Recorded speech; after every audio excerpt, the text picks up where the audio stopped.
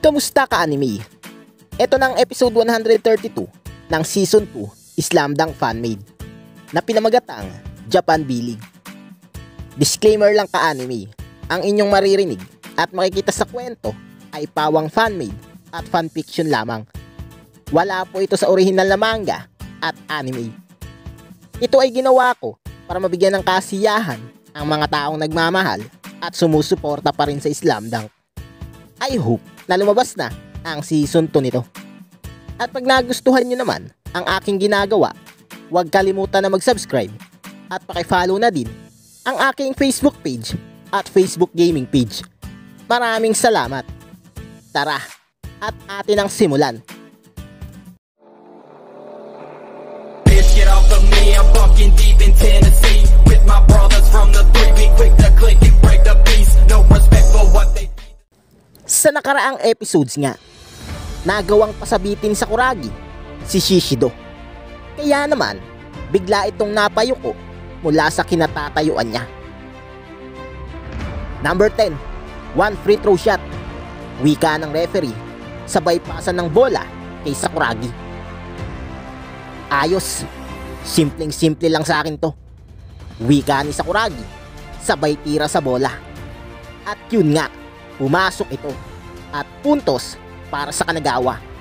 Ang score ay 8-7. Isa na lang ang lamang ng Yami Umatek. Sobrang solid naman ng laruan ng number 10 ng Kanagawa. Siya pa lang ang gumagawa ng score para sa kupunan niya.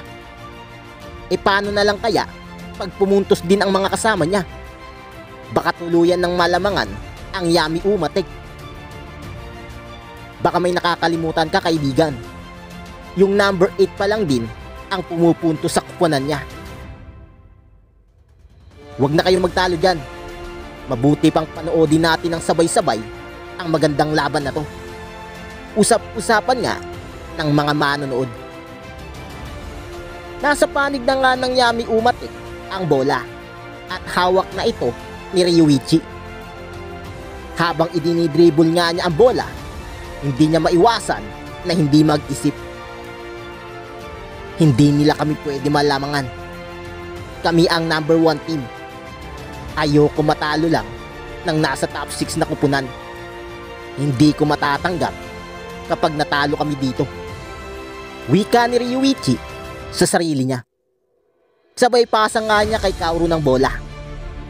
Pagkakuha nga ni Kaoru sa pasa ni Ryuichi, nagmadali naman tumakbo si Ryuichi papunta sa ilalim. Hindi maaari. Gagawa siya ng puntos. Kailangan masundan ko agad siya. Wika ni Miyagi. Sabay habol niya kay Ryuichi. Akin na Kaoru. Wika ni Ryuichi. Kaya naman, ipinasa ni Kaoru ang bola papunta kay Ryuichi. Pagkakuha nga nito sa bola, sabay tira agad niya at isang fadeaway shot ang ginawa niya. Sinabayan naman siya ni Miyagi. Pero dahil lamang ang height ni Ryuichi, kaya hindi na niya inabot pa ang bola. At yun, pumasok nga ito. Puntos na naman para sa Yami Umatek. Ang score ay 10-7. Balik na naman sa tatlo ang lamang ng Yami Umatek. Huwag mo nang subukan. Number 7. Masyado kang mahina sa akin. Papasukin nyo na kaya yung mga key player nyo. Para naman may matatag na magdepensa sa opensa ko. Wika ni Ryuichi sa harap ni Miyagi. Masyado ka mayabang. Minamaliit mo ang kakayahan ko. Mahinang sabi ni Miyagi habang nakatingin kay Ryuichi. Tayo na mga kasama. Number 10 lang naman ang dapat natin bantayan sa kanila. Dahil siya lang talaga ang may kakayahan na makipagsabayan sa atin. Wika ni Ryuichi. Masyado matalim ang pananalita mo number 5. Hindi lang ako ang may kakayahan na may pagsabayan sa inyo. Antayin nyo mag-init ang mga kasama ko. Sisiguraduhin namin na tatambakan namin kayo. Wika nga ni Sakuragi. Tingnan nyo, nagkakainitan ata ang dalawang kupunan. Ano kaya pinag-uusapan nila? Wika nga ng mga kaibigan sa Kuragi. Huwag naman sana magkagulo sa laban na to. Sana matapos ng maayos ang laban. Wika ni Haruko.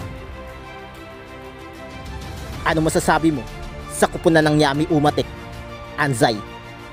Tanong nga ni Coach Takato. Malakas talaga sila. Halatang halata sa galawan nila.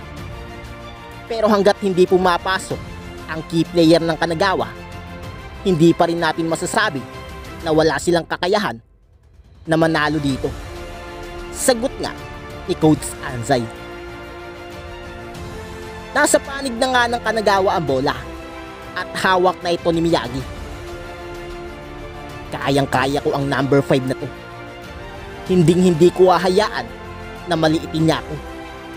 Bulungan ni Miyagi sa sarili niya. Biglang sumundot nga si Ryuichi. Yun nga lang, naiiwas ni Miyagi ang bola.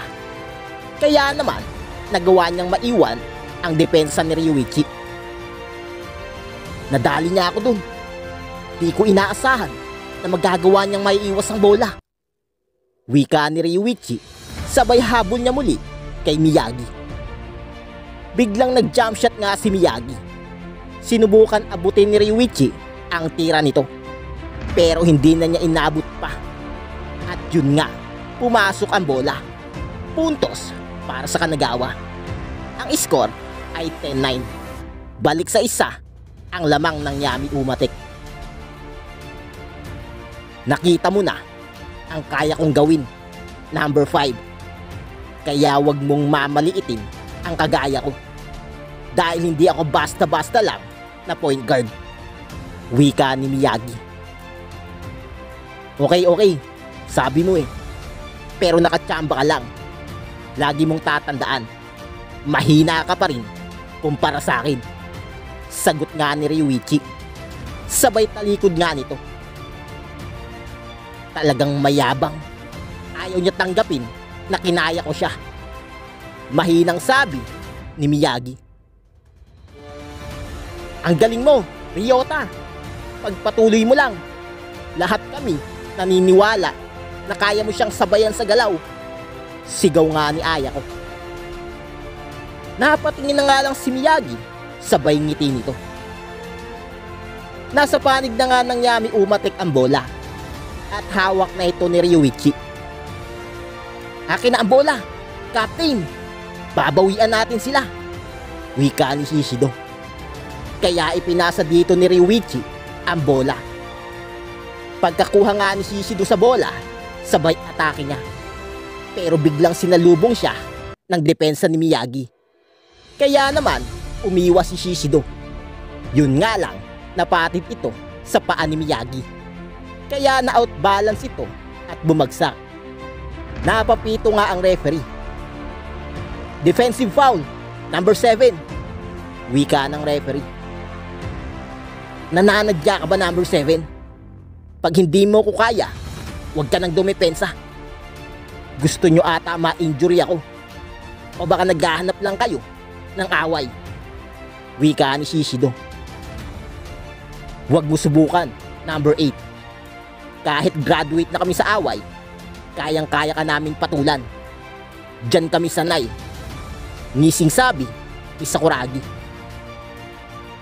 Tama na Shishido. Pag-aawat nga ni Shirowa. Tama si Shirowa, Shishido. Tumigil ka na.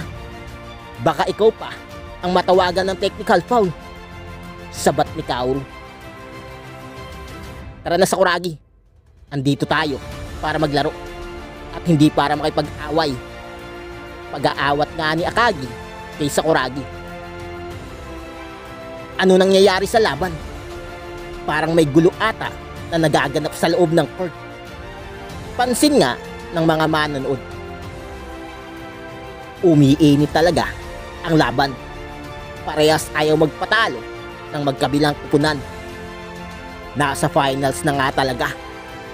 Ganito talaga ang magandang labanan. Wika nga ni Moroboshi. Umayos ka, Shishido. Huwag mo daanin sa init ng ulo. Hindi yan makakatulong sa'yo. Binabalik mo na naman ang dating ikaw. Pwede ba iwasan mo muna ang makipag-away? Wika nga ni Riwichi. Kaya naman, natahimik na lang si Shishido. Nagkakainitan nga ang dalawang pupunan at muntik pa magkaroon ng away. Ano pa kaya ang mangyayari sa laban? Yan ang aabangan natin sa susunod na kabanata. Muli, maraming salamat. This is Pantoman and sign out. Bye-bye.